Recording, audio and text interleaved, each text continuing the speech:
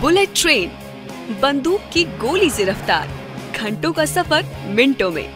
PM Modi ने 300 kilometre रफ्तार से दौड़ने वाली जिस बुलेट ट्रेन का ख्वाब हिंदुस्तानियों को दिखाया था, वो अब हकीकत की जमी पर उतरने वाला है। जापान के पीएम शिंजो आबे के इंडिया दौरे के दौरान भी बुलेट ट्रेन का ही सबसे ज़्यादा ज़िक्र है। ज़ाहिर है आपके जहन में भी कुछ सवाल उठ रहे होंगे।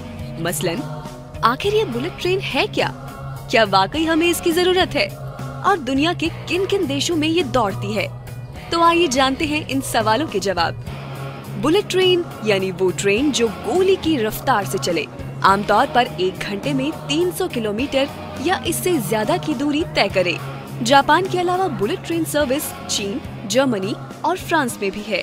इंडिया में बुलेट ट्रेन की संभावना का पता लगाने के लिए जापान इंटरनेशनल कॉरपोरेशन एजेंसी, यानी जे को ये ज़िम्मेदारी सौंपी गई थी। एजेंसी ने इसी साल अपनी रिपोर्ट सौंपी।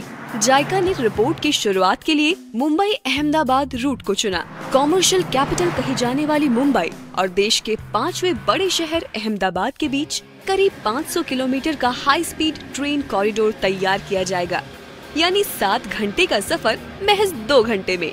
इस रूट पर 12 स्टेशन बनाए जाएँगे। ये प्रोजेक्ट 2024 तक पूरा होगा। इस पर अठानवे करोड़ से ज़्यादा का खर्च आएगा।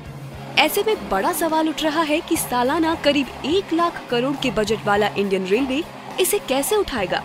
जापान इस खर्च में से करीब नब्बे हज़ार करोड़ का कर्ज देने को तैयार है। वो भी पॉइंट वन के बहुत ही किफायती रेट पर।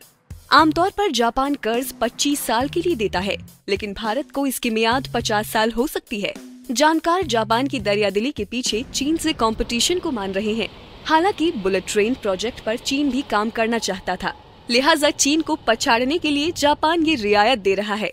हालाँकि हकीकत में बुलेट ट्रेन को ट्रैक पर आने में रोड़े भी बहुत है, और वक्त